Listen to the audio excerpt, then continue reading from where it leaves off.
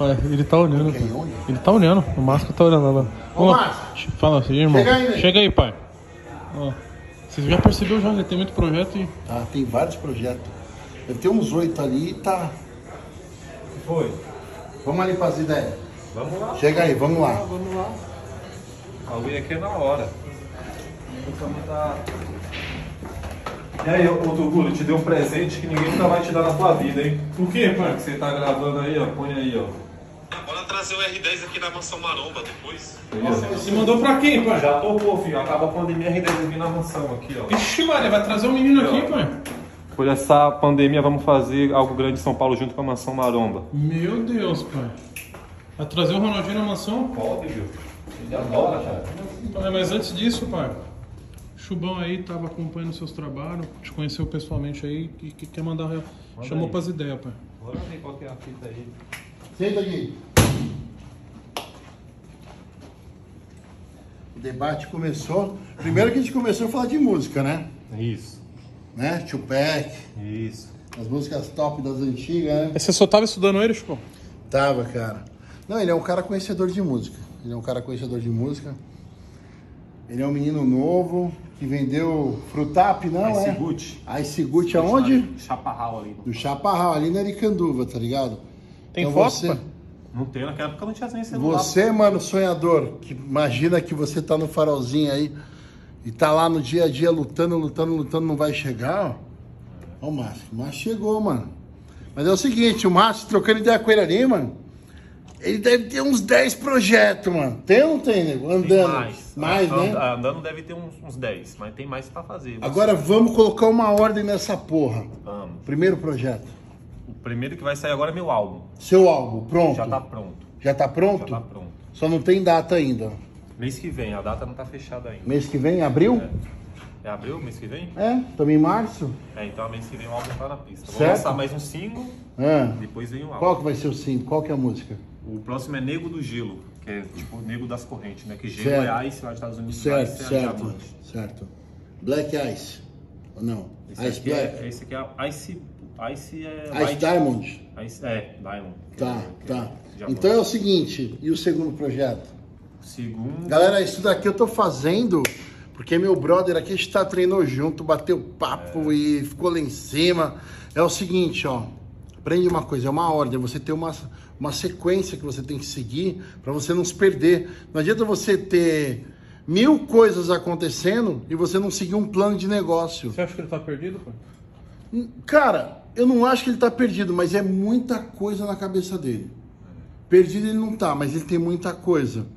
Qual que é o segundo negócio? O segundo... Ordem, o segue mais, a ordem, O mais cara. próximo agora é o projeto lá, levar o Toguro no Ronaldinho, gravar futebol, que é dia 19 agora, dia 20. Que dia? Dia 20 agora já. Dia 20? É, estamos em dia 13. Vai ver o. Ronaldinho? Hã? Caraca, pensou. Caralho, Não, imitão pensou não, aí. pensou não. Nós não trabalhamos com pensamento, nós trabalhamos com fatos. O bagulho vai e vai. Então esse já era, mas vamos tirar da frente? É, então esse já foi. Esse já foi. Então esse é até antes do seu álbum. Esse é antes. é. Esse é antes, esse é o primeiro momento. Então comeu né? bola. Então ele tá comendo Ele bola comeu a bola, ele perdeu a ordem. É O que esse não é um segundo é o- projeto meu em si, só meu. Não, é um Tá, projeto é- sim, porque você está escalonando tudo. Sim, sim. Vou fazer isso, depois vou fazer isso, depois vou fazer isso. Galera, tem uma ordem para o negócio andar. E o terceiro projeto?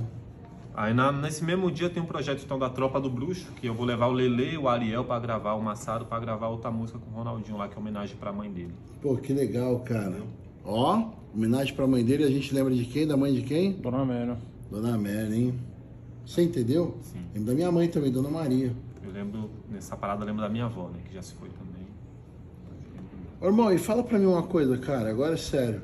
Com tanto projeto bom acontecendo, com tanta coisa acontecendo, o que, que aquele moleque doido da Barreira Grande, que hoje tem vários carros, acha disso? É sério, cara.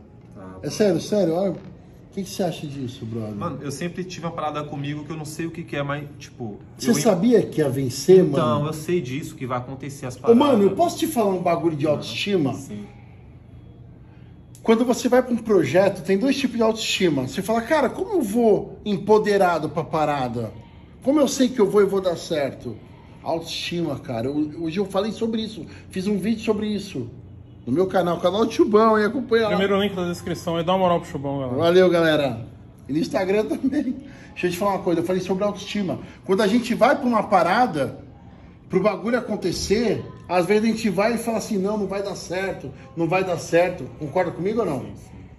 Você sabia que isso é uma autoestima negativa? Porque você tem certeza que não vai dar certo. E quando você vai pra uma parada, você gravou uma música, não gravou? E você vai já lançar o seu segundo EP, não vai? Você não vai com o bagulho falando, não, o bagulho é foda. Porque você validou na primeira, irmão. Porque na primeira você não falava que era foda.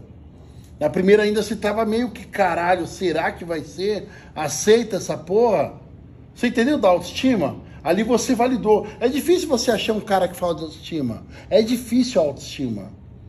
Mas você validou, cara. Hoje, eu trocando ideia com você tal, porra, você fala das coisas com tranquilidade, com a sua autoestima lá em cima, com moral, sabendo o que tá falando, irmão. Meio confuso, hein? Porque você tem quantos anos? 26. 26 anos, cara. Um jovem empreendedor e quiçá os 20 mais top da Forbes do Brasil. Entendeu? A gente tem que pensar nisso também. Não, não foi que até quiçá, os... não. Não, não. Quiçá. Quiçá eu digo no futuro, tá ligado? Mas eu nem, nem sei essa parada é o quê? Mano, os 20 mais, até os 30 anos de idade, irmão, ou 30 ou 30 e poucos, você corre o risco de ser os 30 mais top da Forbes, tá ligado? Você entendeu? Você entendeu ou não? A parada? E você corre esse risco. Porque os planos de negócio que você tem com o mano lá, com o Ronaldo, com o outro maninho lá, que é o nome dele? Daniel Molo. Com o Daniel Molo. Porra, Ele já saiu. isso Daniel. é um engajamento do caralho. Você entendeu? Isso não é pra qualquer um, brother. Todo mundo fala, ah, fazer plano binário, vou fazer investimento, vou fazer isso, fazer aquilo. Vai fazer o caralho, irmão. O nego te dá o sonho, mas não te dá a realidade. Você quer a realidade? Paga 100 mil. Paga 50 mil pra fazer uma mastermind lá. E detalhe, não é porque pagou que vai ter, concorda comigo? Não é que pagou que vai conseguir chegar lá. Porque senão você teria pago, Thiago. E você já estaria lá com outros meios. Você entendeu? O que valida, cara, é seu sonho. Você quebrou. Hoje, qualquer projeto que o Thiago lança, é sério isso, cara. Ele validou no primeiro. Ele validou no Celtinha dele e no para FMU. É FMU? Aí em Bimorumbi. A Embi Morumbi. Ali ele começou a gravar e deu certo. Entendeu?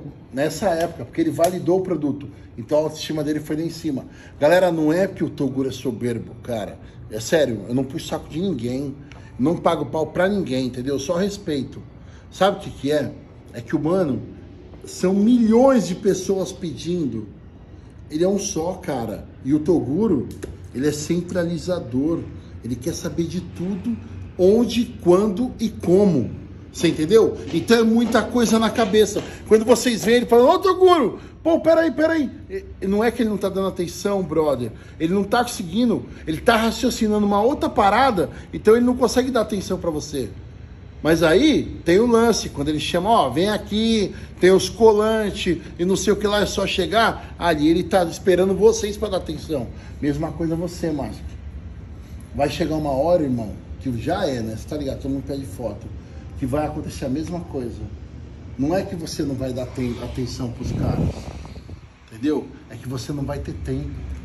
Com 26 anos, a gente falou de pelo menos 10 projetos aí. E você desse jeito voando, tá ligado?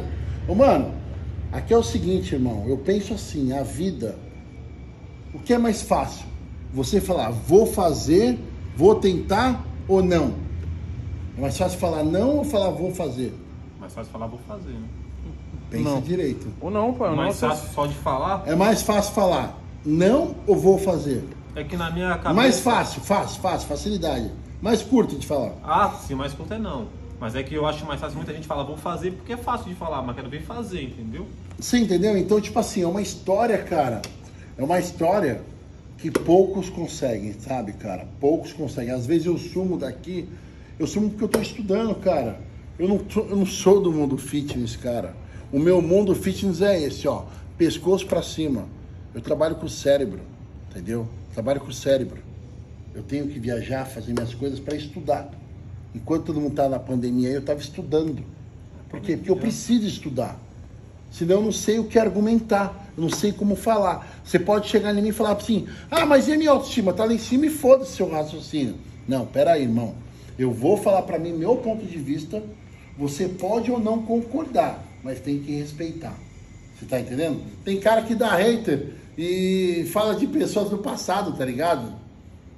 Faz parte também, né? Fale bem, fale mal, fale de mim. Você entendeu? Faz parte aos 10% de hater, né? Que o YouTube aceita no algoritmo. Foi o que eu falei pra você, irmão, que eu acho. Você tem tudo, as coisas estão acontecendo na sua vida. É que muita coisa não dá pra ficar falando, galera, porque senão não, não é surpresa, tá ligado? E o projeto dele, a galera que segue vai ver, é coisas que vão impactar, tá ligado? Vidas. Você entendeu? Sim. Não é? Tô certo ou tô errado, Tá irmão? certo, tá certo. Porque a sua música é uma música que, que bate e fica, concorda comigo?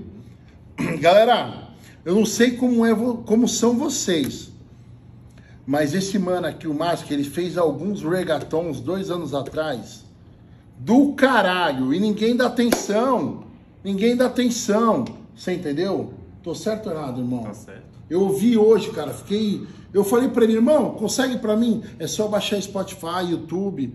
Cara, vocês têm que começar a abrir um pouco a mente, a ouvir algumas músicas. O mano, ele tá muito mais avançado. O mano vai buscar música nos Estados Unidos, vai buscar em Porto Rico, vai buscar em El Salvador. Você entendeu? Ele tá além. Então, ele tá indo buscar pra quê? Pra trazer o melhor pra vocês, entendeu? Então, ó, meu brother tá aqui, estamos aqui fechado. Aqui. Quero ver você mesmo for forte mesmo, eu não pago sapo, entendeu? Eu sim torço pra todo mundo ter sorte, cara. Todo mundo fazer o melhor. Thiago tá aqui, Thiago dá atenção. Quando não dá, vocês têm que entender que ele não dá porque não é quer, e sim porque não deu. E eu sou aqui, né? Aquele gordo bobo que sempre fica falando. Falou, galera, abraço. É nóis, rapaziada. E sorte, ó. Quanto mais você trabalha, mais a sorte aparece. Não? É isso aí.